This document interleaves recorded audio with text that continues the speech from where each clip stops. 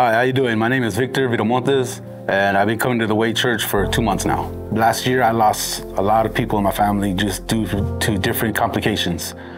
I was losing everything. I was losing my mom, my grandma, my uncles. My girlfriend broke up with me.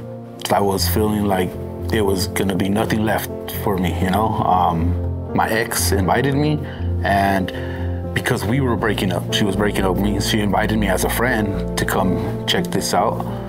Um, she thought I would get a lot out of it because I was going through a rough time. I got saved when I came here. It was like extraordinary. It was amazing. As soon as I came in, I felt like there was hope. It's there wasn't the the end of the road for me. You know, I felt like I was gonna be able to get over everything. You know, with the help of uh, a good team here, I was never able to truly heal from them because I was hiding from my grief. It allowed me to handle that head on, and um, at this moment right now, I feel amazing. I feel like I can finally move forward and accept the, the losses that I have had. The best advice I can give for somebody going through my situation is to trust in the Lord.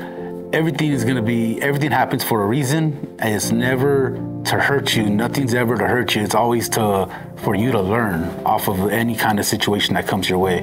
I'm more caring towards my my my dad now more so because he's the only one left in my life right now. Losing everybody, it gives you an opportunity to mend relationships with anybody, friends, family, or anybody that that you might not have thought I'm gonna lose them tomorrow. I'm gonna lose them the next week.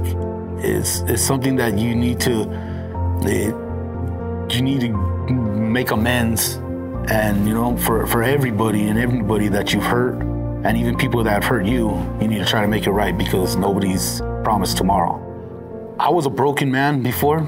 I, I was broken, lost, didn't know what I was doing. But now, now I look forward to every single day of my life. I'm I'm blessed to have this day, to even finish this day, to keep on moving, to to not live in pain. I'm I'm free now, and I'm I'm happy.